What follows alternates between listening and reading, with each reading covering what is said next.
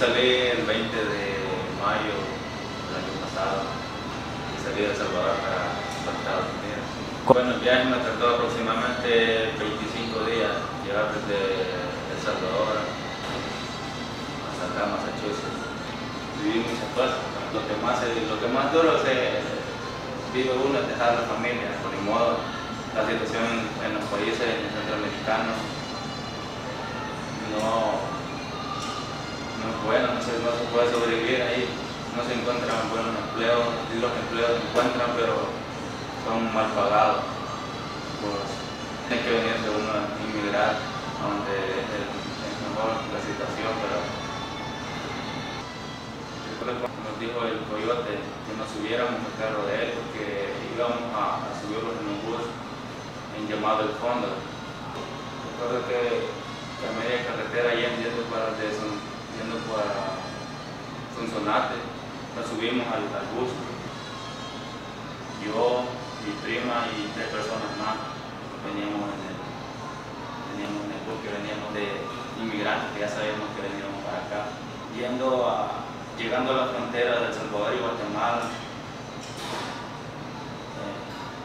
eh, ahí nos bajaron, nos dijeron los, pobladores y los turistas que los bajaron del bus, que lo cruzáramos la frontera caminando, después de la, entre Guatemala y El Salvador.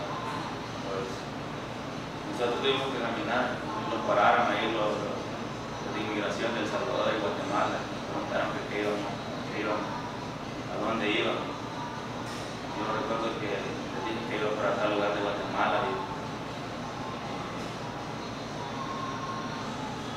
pues mejor lo me dijeron, ¿en serio va por ahí? Sí, sí, por ahí voy, aunque sin saber ni para. Llegué, íbamos cruzando la frontera y me pregunta el policía, ¿por dónde vas? Para Quinta. Joven, por el mar. Me dijo el policía, ¿vos a probar suerte vas? Me dijo. No le digo, para el Quinta voy que si le hubiera dicho que en ese momento venía a probar suerte para acá, no me deja pasar la frontera.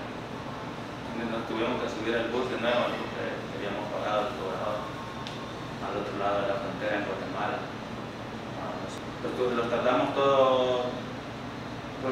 aproximadamente desde las 6 de la mañana hasta como a las 4 de la tarde que llegamos de las fronteras de Guatemala El Salvador hasta Tecumumán, un lugar en Guatemala que es entre, entre, Guatemala y México.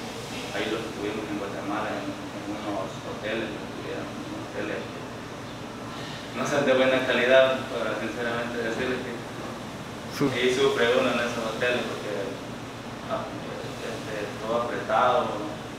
¿Y le dan comida así, pero no es la comida adecuada que lo, que lo tendrían que dar, pero, bien. Ah, allí estuvieron cinco días, recuerdo que estuvimos ahí sin poder salir de ahí, no podemos salir porque si salíamos nos decían de que eh, tuviéramos cuidado, si no los iban a, uh, iban a regresar de ahí de Guatemala para El Salvador y uno por miedo que no, que no lo regresen. Nunca que le he contado a uno estar cinco días en un solo lugar y solo que lo pueden tapar a uno para regresar. Está como triste, pues. ya de modo uno deja las cosas atrás.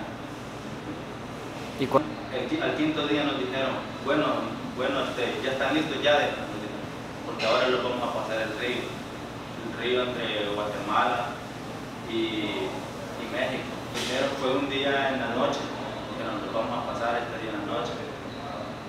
Según lo que lo, los coyotes y los y todo eso, ellos dijeron que había mucha actividad de inmigración en, en el río y, y entre la frontera de México, había muchos federales, pues no los pasamos ese día en la noche, sino que los pasamos al siguiente día, en la madrugada. Como eso de las 6 de la mañana, a las 6 de la mañana fue que estábamos pasando el río y pues, siente feo pasar ese río porque lo, lo, lo, ponen en una balsa a uno solo de llantas y, madera. Siente como, como que se va a caer y bueno, el, trato que le dan a uno, si, no, si uno se mueve, lo le faltan el respeto a uno, porque uno no uno pierde todo derecho cuando viene con ellos. Uno solo tiene que hacer las la cosas que ellos dicen. Pues bueno, llegamos a la frontera entre, entre, llegar, después de haber cruzado la frontera de Guatemala y y México, llegamos a México